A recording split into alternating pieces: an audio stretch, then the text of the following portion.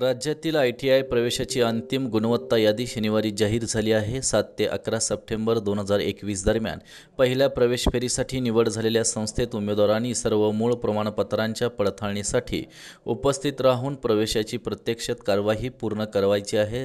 राज्यातील सर्व शासकीय आणि खाजगी औद्योगिक प्रशिक्षण संस्थांमध्ये आय टी आय दोन हजार एकवीस बावीस या शैक्षणिक वर्षातील प्रवेशासाठी ऑनलाईन प्रवेश प्रक्रिया राबवण्यात येत आहे. या प्रक्रियेअंतर्गत यंदा दोन लाख अठ्ठ्याऐंशी हजार पाचशे अठ्ठ्याऐंशी विद्यार्थ्यांनी ऑनलाईन अर्ज नोंदणी केली आहे. या विद्यार्थ्यांची अंतिम गुणवत्ता शनिवारी चार सप्टेंबर दोन हजार एकवीस रोजी जाहीर झाली. नवा महाराष्ट्रासाठी ओंकार पिसाळ